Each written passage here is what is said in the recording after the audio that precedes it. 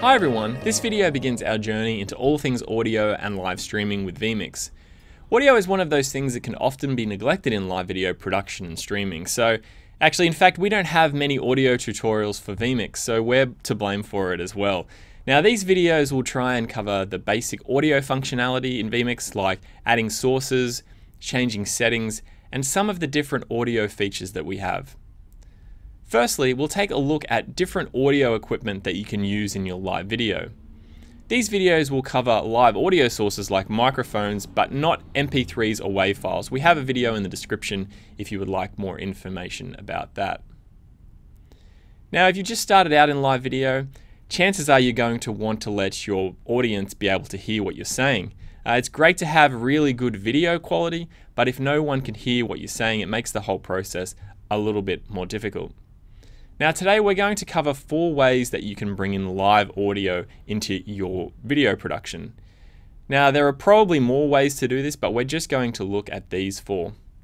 Firstly, we're going to look at embedded audio.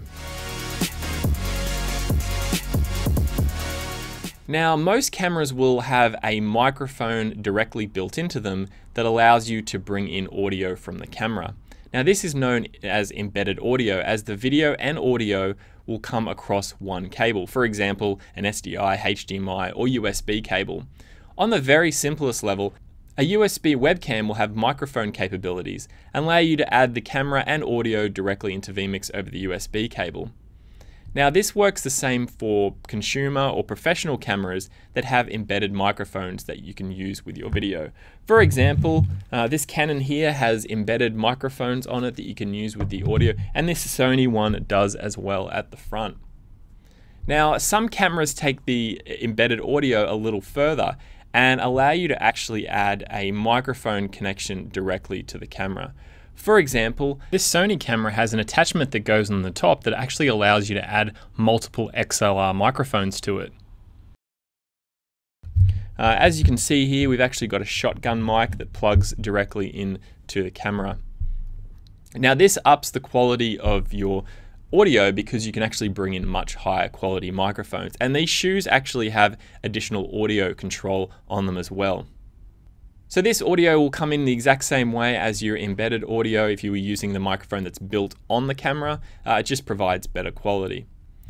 Now some other cameras might have a 3.5mm jack that allows you to add a microphone attachment as well. Now this will again will come across SDI or HDMI just like the inbuilt mic. But if you've, especially if you've got an additional attachment, you'll have better control and quality. Using embedded audio means that the video and audio should arrive at the same time. So when you're sending that uh, signal over your HDMI or SDI cable, the audio and video uh, will be in sync, so you won't have to worry about adding an audio delay. But again, check your camera to make sure. With embedded audio, you don't actually add it as an audio source, you add it alongside the camera. So in order to do that, you just need to go to Add Input, then go to Camera, and then select the camera source here. Now you'll notice down the bottom here for this camera we've got to this capture card, it says enable audio. So we tick that box and then from the audio input we can select something from the drop down menu here and that will bring the audio in. If you have something like a webcam, the audio enabled tick box might not be here, it'll just say audio input and then you can select the webcam's microphone. So we're just going to click OK here. Now as you can see, our uh, camera microphone is now coming through this camera here. Uh, and so that is how you set up, turn that off, that is how you set up embedded audio in vMix from your camera. Next up, we're going to look at USB microphones. Now, if you want to start using independent audio that's not embedded directly into your camera, you can look at using a USB microphone instead. Now, these are cost effective and provide good quality audio for your live video productions. There are a lot of different models available on the market, with some popular brands being Rode, Blue, Samson, Shure, Audio Technica, just to name a few. Now I'm actually using a Blue Yeti microphone uh, for this tutorial and we use them a lot for recording tutorials and doing live stream and that type of thing. So they provide pretty good quality audio um, and they're easy to add and easy to use in vMix.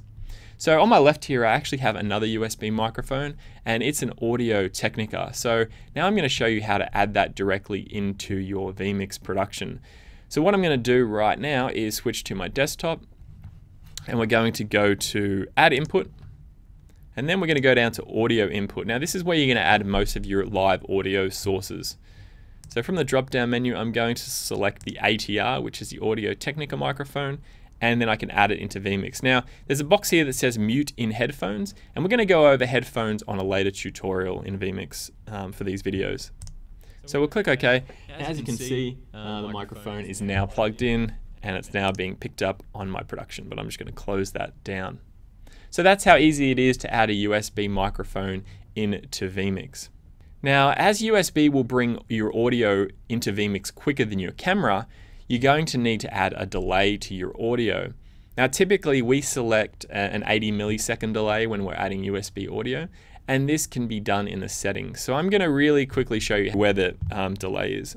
So each of your audio settings has a little gear icon here, and it has a delay. So as you can see, we've selected an 80 millisecond delay for this USB microphone here. Now I'll go into the settings in a lot more detail in one of the later videos. USB microphones are really good. Um, you'll notice that a lot of people use them for live streaming. Uh, we use them a lot. Uh, so they're really good for bringing independent and good quality audio into your production. And they're relatively cheap as well. There's many on the market that are under $100, if not less. Next up, we're going to look at USB audio interfaces. Now, if you want to start using higher quality microphones that typically use an XLR connection, you could possibly take a look at using a USB audio interface. These devices will convert the high quality XLR microphone to a digital audio signal that's sent to vMix over a USB cable. These products will allow you to add multiple microphones into your live production and then use the vMix audio settings to mix the level and adjust the audio.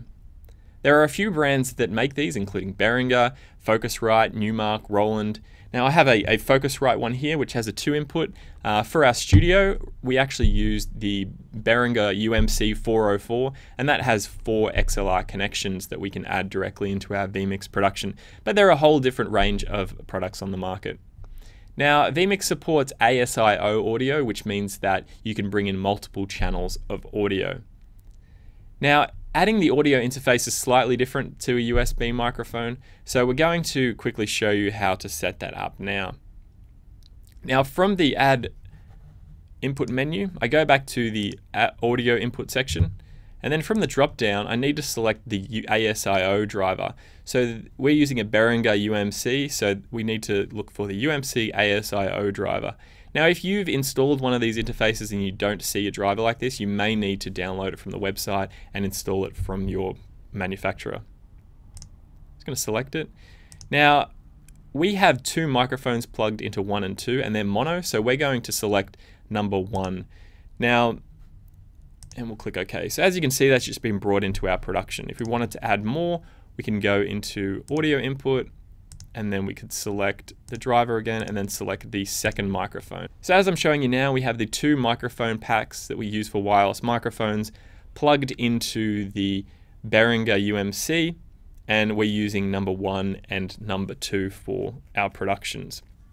Now, if you were using stereo sources for your for your audio, um, when you in vMix, you could select this in one and in two and plug them into one and two, and then three and four to get that two-channel stereo. However, typically with these microphones, you want to plug them in port one, select number one for your audio channel, and number two. So we're going to close this down now. Again, as this is a USB connection, the audio is probably going to come through quicker than your video, so you'll need to select a delay on that. Now, like we showed you before, typically we set this to an 80 millisecond delay when adding um, USB audio interfaces. Now, each of these methods uh, for USB microphones and the interfaces are bringing in unmixed audio. So uh, it means you may need to make some adjustments to them, like the audio delay that we showed before. Now, each audio source in vMix has its own audio settings. By clicking the icon, like we showed before with the gear, we can go through and we can make changes to things like the delay, um, the gain control, we can add plugins, equalizer, compressor, noise gate, and that type of thing. So we'll be going over the audio settings a little bit more detail on the next videos. Now the final method today that we're going to be looking at is using an external audio mixer. Now an audio mixer will allow you to input a completely mixed audio source into your um, vMix production. Now you could use this for your master audio. So you, you grab multiple microphones and multiple uh, audio sources, mix them all together, and then use that combined with your vMix video to create you know, a master um, video and audio together. But you could also add it as an input as well. Now you've probably seen large mixing desks that allow you to connect microphones, instruments, and other live video sources. So um, these mixers allow you to actually professionally mix the audio levels to create the most professional audio that you can get. Once you've mixed all the audio sources, you can bring that into vMix via USB. So we have one here. Uh, we have a, a just a, a, small mixer here, and at the back here, you can actually plug that in as a USB cable, and you can actually plug that into um, your computer and add it as a source into vMix. Now you'll be doing this exactly the same way as we did with the USB uh, and the audio interface. You'll just go through and you'll go to add input and then go and add it as an audio source. Now, depending on how the mixer works, uh, you may need to add a delay to it, you may not, but that's something that you'll just need to check with your video. So those were four ways to bring in live audio into your live video and streaming production with vMix. Now, there are a lot of different ways to do it, uh, and they obviously have different budgets and different quality as well. If you're looking to purchase one of the items I mentioned, definitely have a look online beforehand to make sure that it has great reviews, or perhaps borrow one from a friend, or see if you've got an old one lying around in your cupboard that you could possibly try out with your production. So in other videos in this series, we're going to go through basic audio setup in vMix um, and how you can adjust the settings and also the different features that you might find. Now, if you have any questions or anything about audio, please send us an email via the support page on vmix.com. So thanks for watching this video and we'll see you on the next one. Don't forget to check out any videos mentioned in this tutorial in the description below. If you'd like to keep up to date on all the latest things with vMix, don't forget to subscribe to our YouTube channel or follow us on all the social media. You can find us at vMix HD.